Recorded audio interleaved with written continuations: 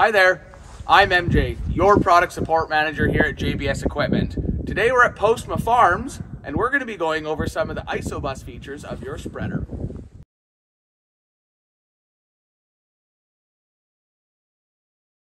Once your system is powered on, it will bring you to the main spreading screen. Press the circle made of arrows button. This will take you to the main menu. From this menu, press the factory menu button. Once you have entered the factory menu, select channels and press the green enter button. From this screen, select valve setup and press the green enter button. We have now entered the belt valve setup screen. From here, select valve autocal and press the green enter button.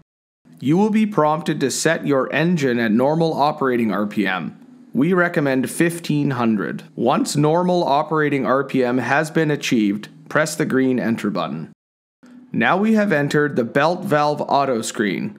Here you will see live feedback is 0 and PWM is 0. From here, you will turn your hydraulics on and continuously select the percentage up button while keeping a visual on your floor chain. Once your floor chain begins to slowly start moving, select the percentage down button until the floor chain comes to a complete stop. Your screen will now show your PWM percentage. This screen is showing us 19%. This is your minimum duty percentage.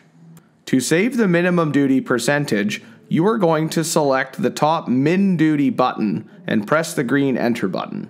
Now we need to set our maximum duty percentage.